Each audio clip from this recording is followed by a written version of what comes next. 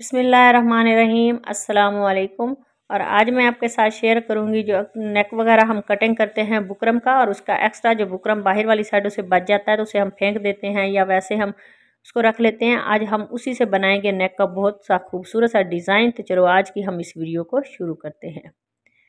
तो ये नेक जो है, इसमें पहले मैंने नेक कटिंग कर लिया था, और अब हम इससे डिज़ाइन बनाएँगे। और इस का बहुत ही खूबसूरत जो है वो नेक हमारा रेडी होगा। तो इस तरह से नेक को हम तय लगा लेते हैं इस बुकरम को। तो सेम ये जो नेक है वो हमारा कटिंग किया हुआ सेम इसी शेप में जो है हम इसको सेट करेंगे थोड़ा बहुत। इसकी सेटिंग करने के बाद बाहर वाली साइड पे हम एक इंच पे बुकरम की कटिंग कर लेते हैं। इसी तरह से ये पूरा सेम जिस तरह से ये नेक कटिंग किया हुआ है, हम इसी तरह से नेक को कटिंग करेंगे। और अगर आप इसमें चौड़ा जो है कोई डिज़ाइन डालना चाहते हैं तो आप उसी हिसाब से इसकी कटिंग करें। तो यहाँ पे मैं बारीक इसमें डिज़ाइन सेट करूँगी तो सेंटर में से इसकी कटिंग कर देते हैं और उसके बाद इस तरह से इसको हम पेस्ट कर लेंगे। जितना हमें सेंटर में से गैप चाहिए होगा, उतना ही हम इसको फैब्रिक पे पेस्ट करेंगे। तो ये हमारे नेक की जो लंबाई और चौड़ाई जितनी हमें चाहिए, उसी हिसाब से यह परफेक्ट है। साढ़े सात इंच इसकी लेंथ है। और चौड़ाई जो है इसकी साढ़े छः इंच है। तो यहाँ पे मैंने सा, सात इंच इसकी चौड़ाई करनी है तो इस हिसाब से अब हम इसकी कटिंग कर लेते हैं। तो ये कटिंग जो है वो मैंने परफेक्ट तरीके से कर ली है और अब हम इसको फैब्रिक पे पेस्ट कर लेते हैं। तो ये फैब्रिक पे नेक को मैंने पेस्ट कर लिया है और अब हम यहाँ पे कट लगाएँगे। कट लगाने के बाद इसका एक्स्ट्रा जो फैब्रिक है उसको स्टिच कर लेते हैं। तो इसी दौरान चैनल पर नए हैं तो प्लीज़ चैनल को सब्सक्राइब कर लें और बेल आइकॉन प्रेस करें। ताकि आने वाली हर वीडियो का नोटिफिकेशन आपको आसानी से मिल सके। तो वीडियो को लास्ट तक लाजमी देखा करें। अगर अच्छी लगे तो उसे लाइक करें शेयर करें और कमेंट में मुझे ज़रूर बताएँ कि मेरा आज का जो नेक का डिज़ाइन है, वो आप सबको कैसा लगा। तो ये बिल्कुल नए तरीके का नेक का डिज़ाइन है, नया डिज़ाइन है और इसमें नया कुछ हम करेंगे। तो आप इस वीडियो को लास्ट तक लाजमी देखना। तो और इसके बाद अब हम इस तरह से इस नेक को जो है वो तय लगाएँगे। तय लगाने के बाद सेंटर में कट लगाते हैं। कट लगाने के बाद अब शर्ट का फ्रंट लेंगे और इसके सेंटर में इस तरह से नेक को रखते हुए इसकी सेंटर की सिलाई लगा लेते हैं। तो ये वाली सिलाई जो है वो मैंने लगा ली है और अब हम बिल्कुल बुकरम के साथ साथ सिलाई लगाएँगे।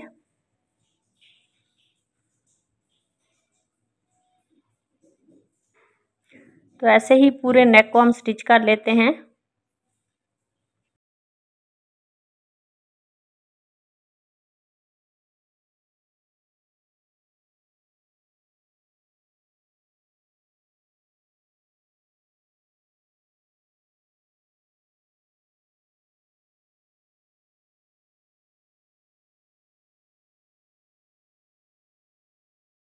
तो नेक को सिलाई लगाने के बाद अब हम इसका एक्स्ट्रा जो फैब्रिक है, उसकी कटिंग कर लेंगे।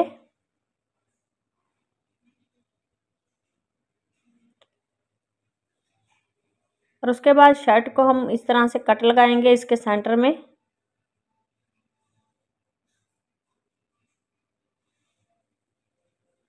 कट लगाने के बाद ये सेंटर में इस तरह से उल्टी कर, जो है ना, वो कमीज़ को करेंगे और इसके सेंटर में से बहुत ही आराम से कटिंग करेंगे।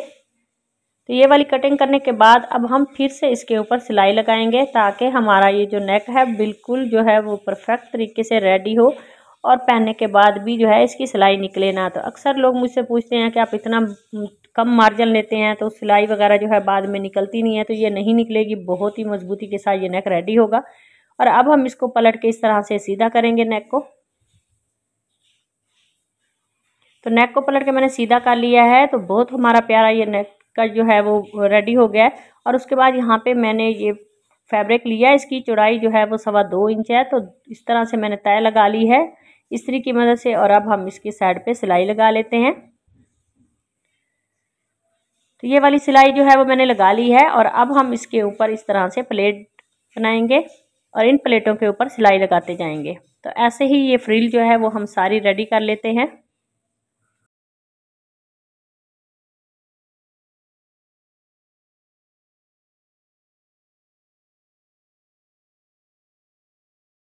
तो फ्रिल रेडी करने के बाद यहाँ पे मैंने फैब्रिक लिया है। इसकी चौड़ाई जो है वो सवा दो इंच है और इस तरह से ऊपर से भी मैंने इस्त्री की मदद से तय लगा ली है और सेंटर से भी तय लगाने के बाद अब हम इसको इसके नीचे रखेंगे और एक साइड पे जो है हम इसको स्टिच कर लेते हैं। तो एक साइड जो है नेक की स्लिट उसको स्टिच करने के बाद ये जो फ्रिल हमने रेडी की है उसको नीचे की तरफ़ फोल्ड करेंगे और इस तरह से नेक के नीचे रखते हुए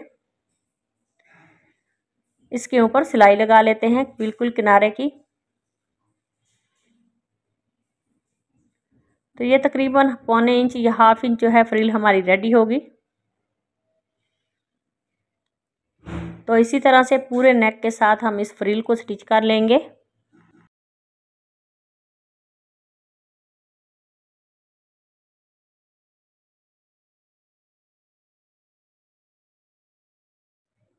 तो ये वाली फ्रिल को हमने स्टिच कर लिया है और धागे को कट करते हैं और एक्स्ट्रा जो फैब्रिक है उसकी भी कटिंग कर लेंगे।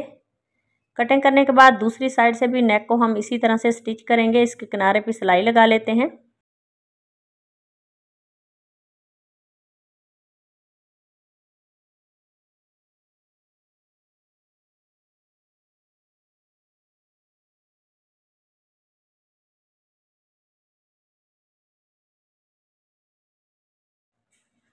और ये डोरी जो है वो मैंने पहले रेडी कर ली है। रेडी करने के बाद अब हम इन डोरियों की जो है वो कटिंग कर लेते हैं। ढाई ढाई इंच की इस तरह से डोरियों की कटिंग करेंगे।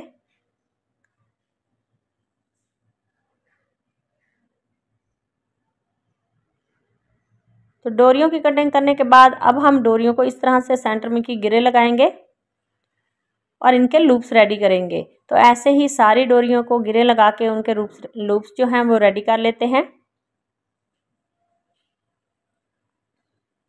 लूप्स रेडी करने के बाद अब हम इस लूप्स को जो है ये स्लिट के सेंटर में इस तरह से स्टिच करेंगे। बिल्कुल पास पास इनको जो है वो साथ में अटैच करते हुए इनके किनारे पे सिलाई लगा लेते हैं। तो ऐसे ही ये सारे जो स्लिट है उसके सेंटर में इन लूप्सों को स्टिच कर लेते हैं।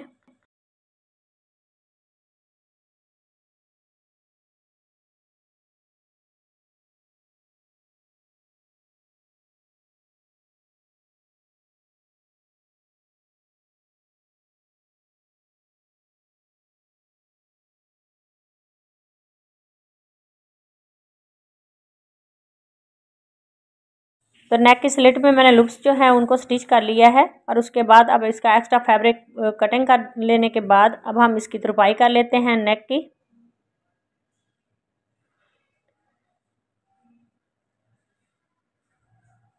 तो आज का हमारा ये बहुत ही खूबसूरत और सिंपल सा, बिल्कुल इजी सा नेक का डिज़ाइन जो है वो रेडी हो गया है।